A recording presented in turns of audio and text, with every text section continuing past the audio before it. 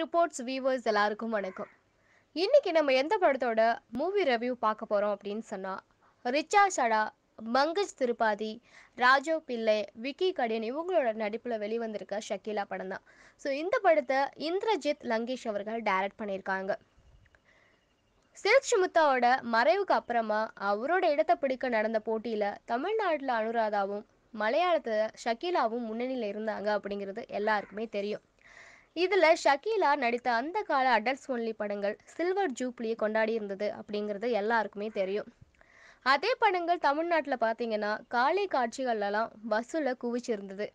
முக்கியமாக ஷக்கீலா நடித்த படங்களில் அவர் முகம்தான் நடித்தது உடல் இன்னொரு பெண்ணுடையது என்றும் குடும்பத்தை காப்பாத்துறதுக்காகவே அவர் அப்படிப்பட்ட நடிகையாக மாறினார் என்றும் புதித புதிதாக கற்பனை சேர்த்து ஷக்கீலாவோட பயோபிக் என்று மறுபடியும் ஒரு ஷக்கிலா படத்தை தந்திருக்கிறாரு இந்திரஜித் லங்கேஷ்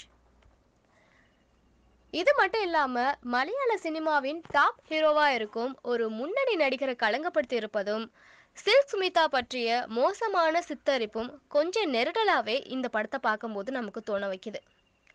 ஷக்கீலாவா நடிச்சிருக்க பாலிவுட் நடிகை ரிச்சா சதாவுக்கும் நடிப்பை விட கவர்ச்சி தான் அதிகமாக வருது அப்படிங்கிறது படத்தை பார்க்கும்போது நமக்கு தோண வைக்குது. இன்னும் கொஞ்சம் இவங்க இந்த நடிப்பை வாங்கியிருந்தா நல்லா இருந்திருக்குமோ அப்படிங்கிற மாதிரி தான் இந்த படம் பார்க்கும்போது எல்லாருக்குமே தோண வைக்குது. குறிப்பாக ஷக்கீலாவோட படங்களால் கலாச்சாரம் சீரழியுது அப்படிங்கிறதால மலையாள சினிமா உலகம் ஷக்கீலா படங்களுக்கு தடை விதிக்க ஏறிய வேகத்தில் இறங்குறாங்க ஷக்கீலா.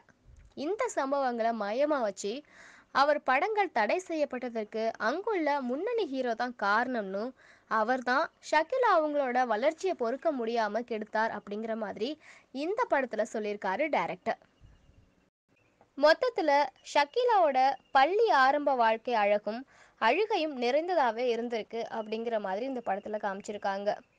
சிறு வயது வாழ்க்கை சம்பவங்கள் இந்த படத்தை பார்க்கும்போது நிறைவாக இருந்தாலுமே பார்த்தீங்கன்னா ஷக்கீலாவோட பயோபிக்கை சொல்ல வந்தவங்க பின்பகுதியில் எங்கெங்கேயோ போய் கடைசியாக சக்கீலா அவர்கள் நல்லவர் தான். அவங்கள வச்சு படத்தை எடுத்த ஆண்கள் அதை பார்த்த ஆண்கள் அனைவரும் தான் குற்றவாளி அப்படிங்கிற மாதிரி முடிச்சிருக்காங்க. இந்த படத்தை பொறுத்தவரையும் டெக்னிக்கல் டீமில் வந்துட்டு சந்தோஷ் ராயின் ஒளிப்பதிவும் பின்னணி இசையும் கவனிக்க வச்சிருக்கு அப்படிங்கிற மாதிரி தான் இந்த படத்தை பார்க்கும்போது நமக்கு தோண வைக்குது. குறிப்பாக அலற காட்சியில் கூட கண்ணீரில் கரையிற அளவுக்கு மேக்கப்போட நடிச்சிருக்காங்க ரிச்சா. இது மட்டும் இல்லாமல் அந்த மலையாள முன்னணி நடிகரை நினைவுபடுத்தும் விதமாக அவரோட மேனரிசம் வசன உச்சரிப்புன்னு அசத்திருக்காரு பங்கஜ் திரிபாதி.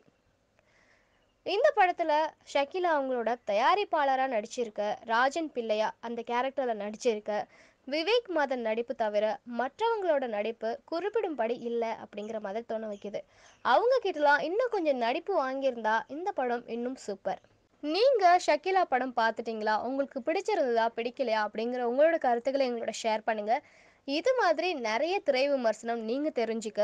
தேர்ட் ரிப்போர்ட்ஸை லைக் பண்ணுங்கள் ஷேர் பண்ணுங்கள் கமெண்ட் பண்ணுங்கள் முக்கியமாக சப்ஸ்கிரைப் பண்ண மறந்துடாதீங்க.